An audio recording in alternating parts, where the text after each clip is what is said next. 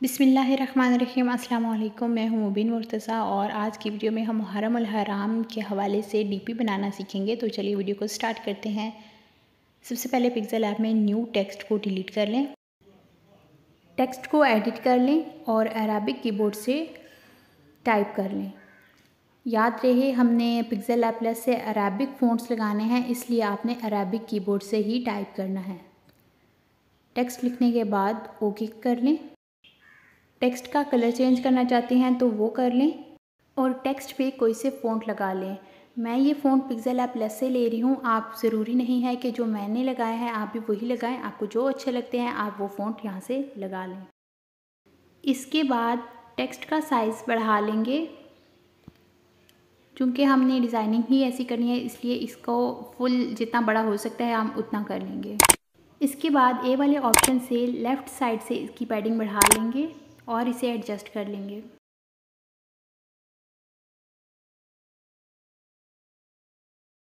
और relative position से दाएँ बाएँ से सेंटर में कर लेंगे। और पोजीशन वाले ऑप्शन से इसे थोड़ा नीचे की तरफ़ कर लेंगे।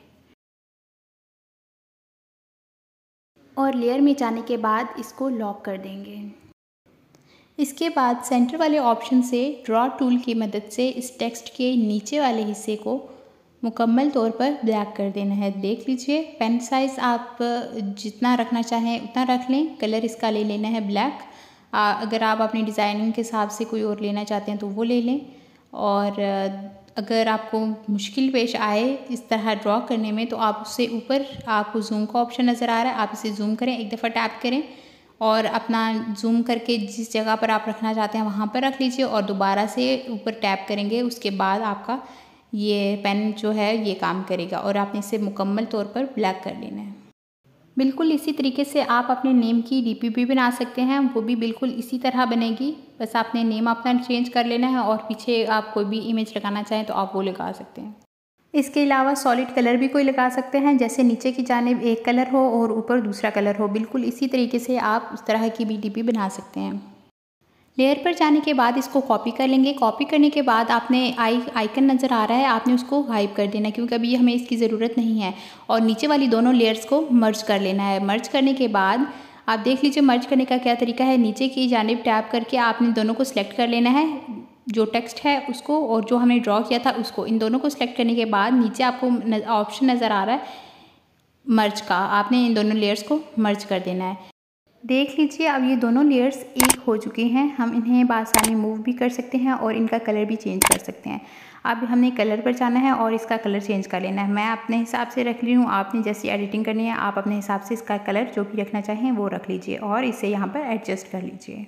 इसके बाद सेंटर वाले ऑप्शन से इंपोर्ट कर लेंगे। मेरे पास ये इमेज है। आप अपने हिसाब से कोई भी इमेज ले सकते हैं। देख लीजिए, मैंने अभी इसका साइज़ थोड़ा सा कम रखा था, लेकिन ये इसके ऊपर एडजस्ट नहीं हो पा रहा। इसलिए हम इसका साइज़ जितना है, हम उतना ही ले लेंगे। और इसका साइज़ बढ़ाते हुए हम यहाँ पर एडजस्ट कर लेंगे और इसे रिलेटिव पोजीशन से ऊपर, नीचे और दाएँ बाएँ से सेंटर में कर लेंगे। जो इमेज हमने इंपोर्ट की थी, उसे टू बैक कर लेंगे और लेयर पर जाने के बाद जिस टेक्स्ट को हमने आई आइकन पर किया था, इसको हमने दोबारा वहीं पे टैप करना है और और लेयर पर जाने के बाद इसे टू फ्रंट कर लेंगे। देख लीजिए, जहाँ पर डॉट बने हुए हैं, आपने इसे लॉन्ग प्रेस करते हुए ऊपर की जाने ले जाना है और ये टू फ्रंट आ गया है। और इसके बाद इसका कलर चेंज कर लेना है। देख लीजिए, मैंने सिलेक्ट वो ड्रॉ वाला ड्रॉ वाली लेयर सेलेक्ट हुई थी, इसलिए उसका कलर चेंज हो गया, लेकिन हमने टेक्स्ट को सिलेक्ट करना है और इसका कलर चेंज करना है। आप अपनी मर्ज़ी से कोई भी कलर रख सकते हैं और ओके कर लें।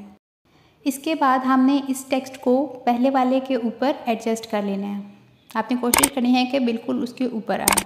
लेयर पर जाने के बाद तमाम लेयर्स को लॉक कर लें और अब अगर आप चाहते हैं कि हाथ के अंदर से फिल हो वाइट या ब्लैक कलर में या किसी भी कलर में तो आपने क्या करना है, शेप्स ले लेनी है। कोई भी शेप लेकर उसमें जो कलर आप रखना चाहते हैं वो रख लें और इसे टू बैक कर लेना है। देख लीजिए, फुल बैक नहीं करना, आपने टेक्स्ट के पीछे तक ले जाना है इसे। और इसी तरह आप अगर आप इसका कलर चेंज करना चाहते हैं, ब्लैक करना चाहते हैं तो आप वो भी कर सकते हैं। इसके बाद स्क्वेयर शेप ले लें। साइज़ बढ़ाने के बाद इसकी ओपेसिटी बिल्कुल कम रख लेंगे और स्ट्रोक बढ़ा लेंगे। जितना आपको स्ट्रोक चाहिए, आप उतना बढ़ा लें और इसे स्ट्रोक का कलर भी जो आप लेना चाहें, वो रख लें और इसे ओके कर लें। इसके बाद रिलेटिव पोजीशन से इसे सेंटर में कर लेंगे और एडजस्ट कर लेंगे। इन तमाम लेयर्स को लॉक कर लें और मर्ज कर लें। इसके बाद आप, अगर आप चाहें तो टेक्स्ट अपना कोई अशार वगैरह लिखना चाहें तो आप वो भी इसके नीचे जो स्पेस है आप यहाँ पर लिख सकते हैं। तो ये थी आज की वीडियो उम्मीद करती हूँ कि आपको वीडियो की समझ आ गई होगी और वीडियो पसंद आई होगी। अगर वीडियो पसंद आए तो वीडियो को लाइक कर दीजिए। चैनल पर नए हैं तो चैनल को सब्सक्राइब कर दीजिए और बेल आइकन को प्रेस करना बिल्कुल भी मत भूलिएगा, क्योंकि इससे मेरी नई आने वाली वीडियोस की अपडेट आप तक पहुँचती रहेंगी। मिलते हैं नई वीडियो के साथ, तब तक आपने बहुत सारा रखेगा ख्याल और मुझे दुआओं में याद रखेगा अल्लाह हाफिज़।